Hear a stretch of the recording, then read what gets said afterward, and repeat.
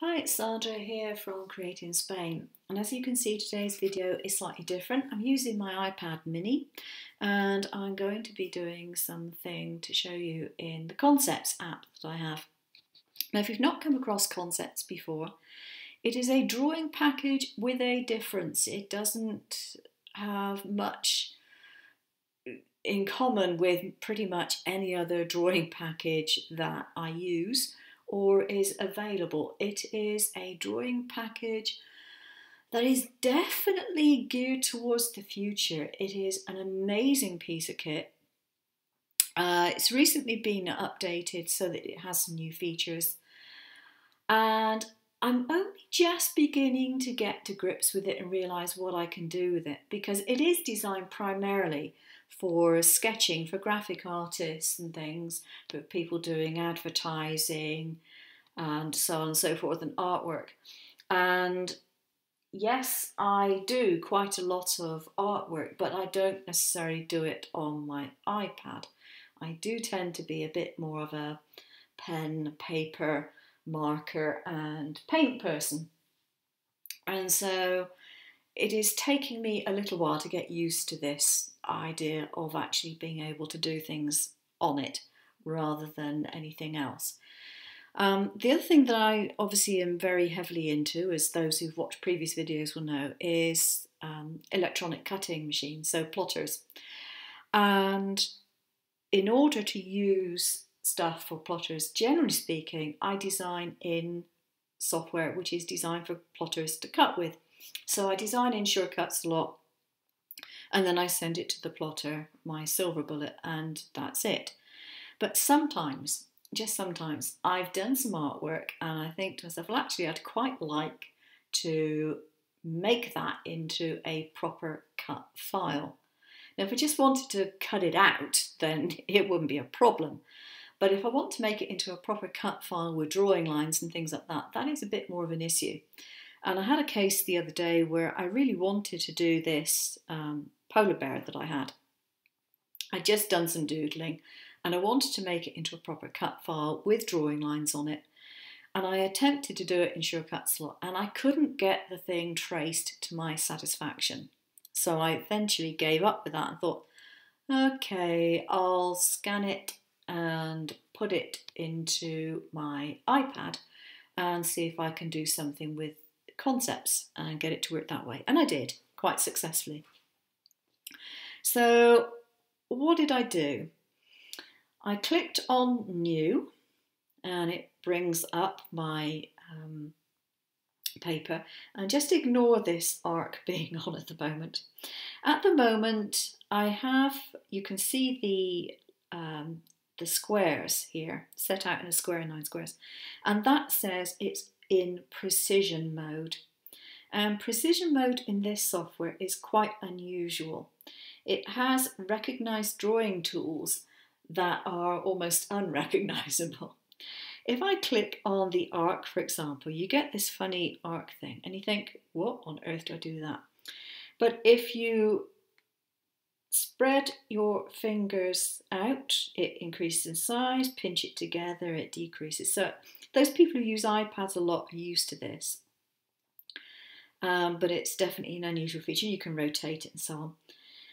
But then if you actually just draw anywhere outside that line, it will actually draw the arc. And you can then play around with it and make it as you want. So that is one of the functions of the precision mode. That isn't what I want it to be doing at the moment, but I just thought I'd show you. It is a very, very different drawing app. And I'm going to switch that off and I'm going to delete what I have done because I honestly don't want it. So there we go. Okay, what I do want to do is import my artwork and I scanned it in and just loaded it up. And so if I go to get it from my library, I can get it. It's just there. There we go. My cute little polar bear, isn't he sweet? Okay, so I'm going to widen my fingers, so the opposite of a pinch basically, and make him bigger so I can see him better. Now, if I wasn't actually filming this, I would rotate it, but I've noticed that if I rotate this, It doesn't rotate when you're watching the movie, so it might make you get a bit of a crick in the neck. So I'm not going to do that.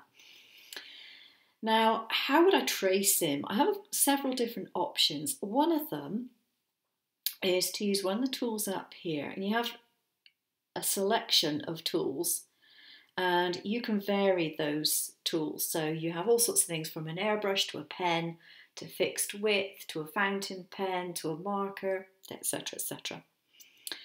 Now, this one just under the fixed width, this one here, if I tap on that, I can alter the width of the line. So really, really fat to very, very thin. I can have it as I wish.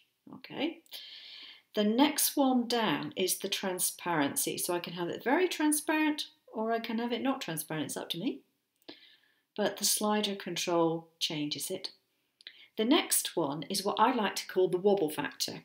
Now you know what it's like when you're using a stylus or your finger on an iPad you will not be drawing the line exactly smoothly. It's not quite the same as drawing on paper. And even on paper, you don't necessarily draw everything very smoothly.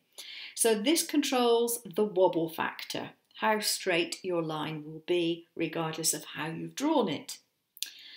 The next one is absolutely amazing. This is a Copic marker chart and you can draw or paint or whatever it is you're going to do in whatever colour you like out of the Copic selection.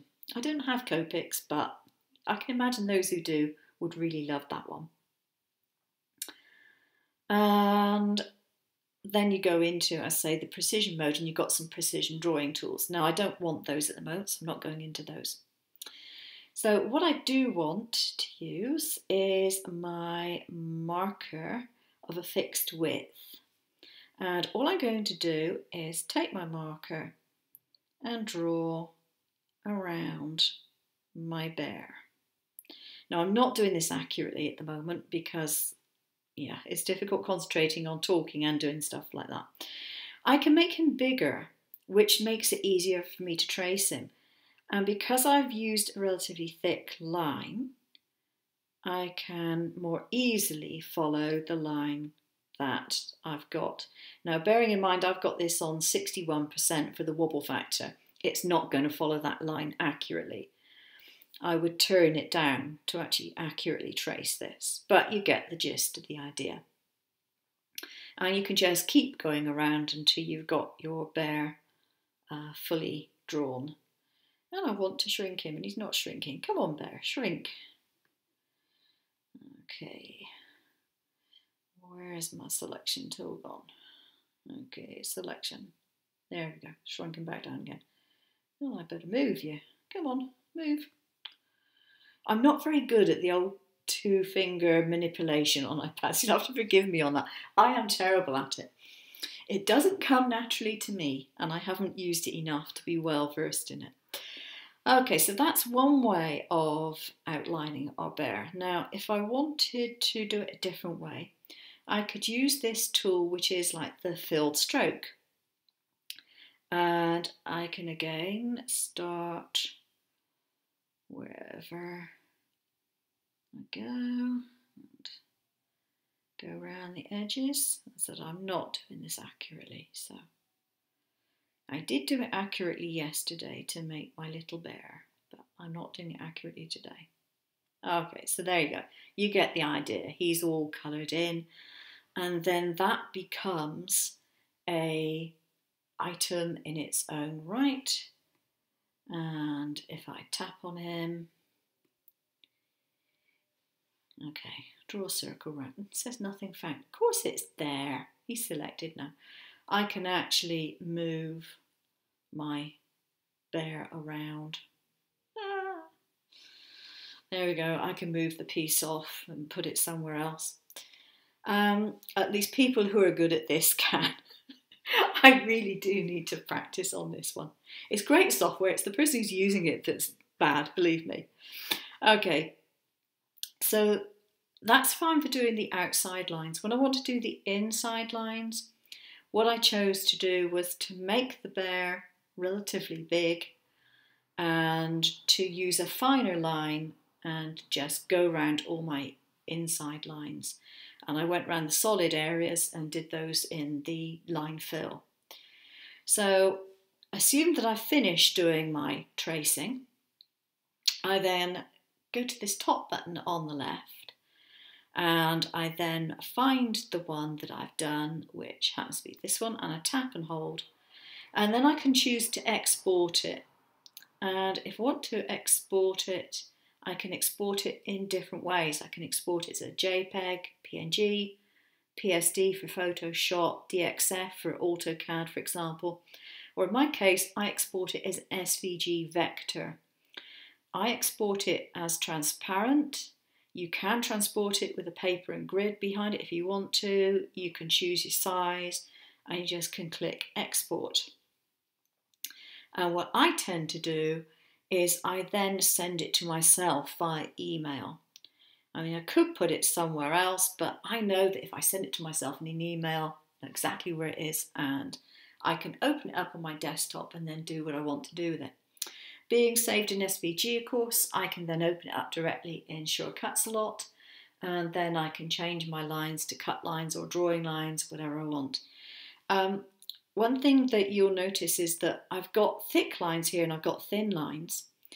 All the lines will be thin lines. It doesn't do a double line. This thick line here will still be a thin line when I export it it gives a line down the middle of it, not one either side. So from a cut point of view, that's quite a useful function.